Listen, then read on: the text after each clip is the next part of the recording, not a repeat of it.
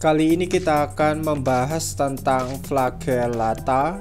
Jadi di sini bisa kita baca ciri khas dari flagellata ini yaitu memiliki satu flagella atau bulu cambuk yaitu sebagai alat gerak pada salah satu ujung tubuhnya yang berfungsi untuk memasukkan makanan ke dalam mulutnya. Sebagian besar dari flagellata ini hidup bebas, tapi ada juga yang menjadi saprofor sisa-sisa organisme. Namun ada juga yang menjadi parasit pada hewan dan manusia. Flagellata ini masih dibedakan menjadi dua jenis, yaitu Phytoflagellata dan Zooflagellata. Pertama kita mulai dari Phytoflagellata terlebih dahulu. Phytoflagellata ini memiliki plastida. Selain itu, Phytoflagellata juga dapat melakukan fotosintesis dan bersifat autotrof. Di lingkungan air, Phytoflagellata ini berperan sebagai penyusun fitoplankton. Jadi, Phytoflagellata ini akan mensuplai makanan bagi organisme lain. Contoh dari Phytoflagellata ini adalah Euglena viridis, kemudian Nocticula miliaris, dan Volvox globator. Lah, yang A ini adalah gambar dari Euglena viridis Kemudian yang B ini adalah gambar dari Volvox globator. Selanjutnya yang kedua kita akan membahas tentang Zooflagellata. Zooflagellata ini ada yang cara hidupnya bebas, tetapi kebanyakan dari Zooflagellata ini bersifat heterotrof parasit dan bentuknya menyerupai hewan.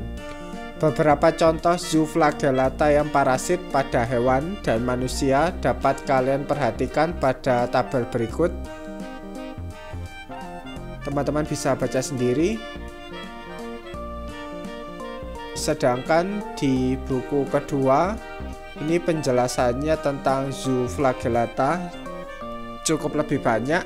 Coba mari kita baca. Ini kurang Z ya, jadi bacanya Zoomastigopora dan ini juga kurang Z atau Zooflagellata. Filum Zoomastigopora atau yang dikenal juga sebagai Zooflagellata Makhluk hidup heterotrof ini mengambil molekul organik dari lingkungannya atau mangsa melalui fagositosis. Zooflagellata ini bergerak menggunakan bulu cambuk atau flagella. Umumnya hidup sebagai sel yang soliter, tetapi ada beberapa yang hidup berkoloni. Zooflagellata ini ada yang hidup bebas dan ada pula yang melakukan simbiosis dengan makhluk hidup lainnya. Contoh dari Zooflagellata ini adalah sebagai berikut. Yang pertama adalah Trichonimpa campanula yang hidup dalam usus rayap dan membantu rayap menguraikan molekul selulosa kayu. Zooflagellata lainnya merupakan parasit yang membahayakan pada hewan dan manusia. Contohnya adalah Trypanosoma yaitu penyebab dari penyakit tidur di Afrika yang disebarkan oleh gigitan lalat sese. Contoh lainnya adalah Trichomonas vaginalis yaitu penyebab penyakit kelamin pada wanita dan penyakit saluran kelamin pada pria.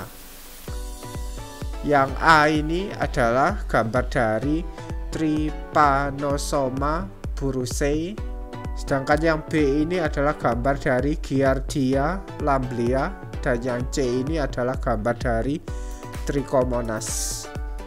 Pada video selanjutnya saya akan membahas tentang Ciliata.